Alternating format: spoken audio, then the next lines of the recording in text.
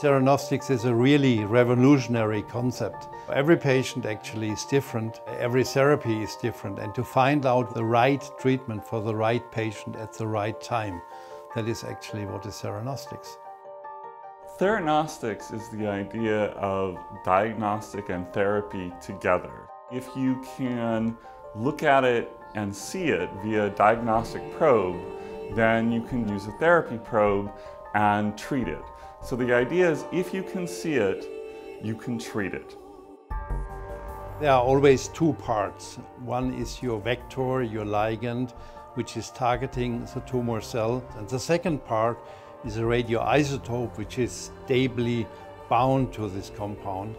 So we can use different isotopes for imaging, for example, for PET-CT or SPECT-CT, but also for therapy using beta emitters or alpha emitters. I came across Dr. Baum at a medical conference in Toronto uh, where I was looking for advancements in treatments for my own disease. Four weeks later, I was on a plane for my first gallium-68 DOTATOC scan in Bad Berka, Germany. Theranostic Center Bad Berka was originally founded in 1997, so 20 years ago. The initial focus for uh, treatment uh, was actually neuroendocrine tumors and the first patient was actually a very young patient and uh, he had a rare tumor, paraganglioma, was very far progressed so he could not walk anymore and by our treatment he was able to return to what is very important for German boys soccer playing. Since then we have applied uh, more than 20 different types of novel radiopharmaceuticals, first in human application. And also we have developed various protocols in where we can personalize therapy for patients. The treatment we are using for neuroendocrine tumors uh, is called PRRT, peptide receptor radioligand therapy, which means that you use a specific peptide, in this case a somatostatin analog, labeled with a beta emitter or with an alpha emitter for targeting specifically the neuroendocrine tumor cell. Here we can actually visualize the tumor bulk in the patient. We then also characterize the different uh, physical and physiological parameters of the patient, kidney function tests and blood tests, and then we can tailor the amount of the radiopharmaceutical that we are giving to the patient. Patient typically undergoes in the first phase of treatment in PRRT uh, three to four cycles.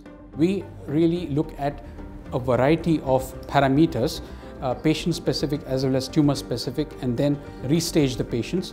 Of course, the patients can be again offered another cycle of PRRT if necessary. We are tailoring the, the treatment activity uh, precisely to the situation of the patient itself. And uh, according to the theranostic principles, we can also perform post-therapeutic imaging on the ward itself. We are using an in-house developed dose protocol. We call it a Bad Berka dose protocol. Our main goal was to develop a dosimetry method which is practical in our daily clinical routine and to make the dosimetry available for each of our patients.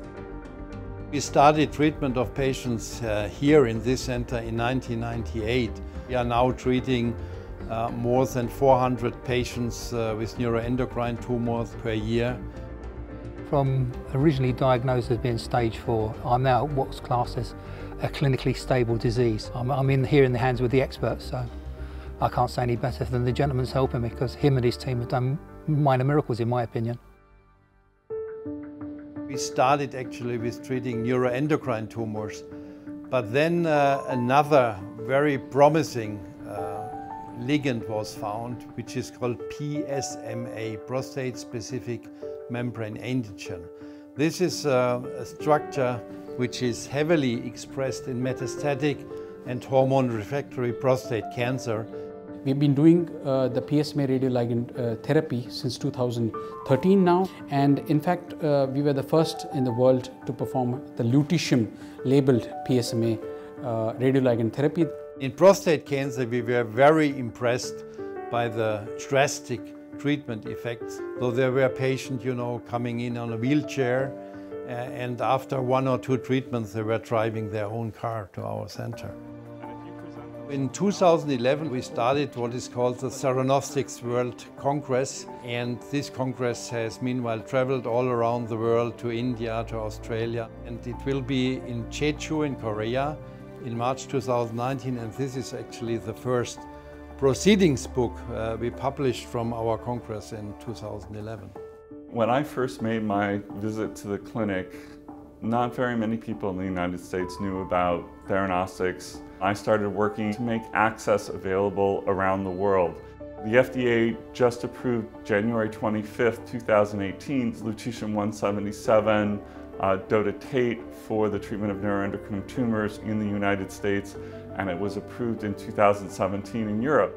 I think theranostics has a great future. It actually is now also extending to other indications uh, like pancreatic adenocarcinoma uh, also to lymphoma, to lung cancer, colon cancer, breast cancer. So it's really becoming a part of the mainstream in, in oncology. If you can get to this clinic, the Bad Berka clinic here in Germany, and have the grace and good fortune to be under Professor Baum's care, it's the best place to be, seriously, because the man's a genius, it's as simple as that.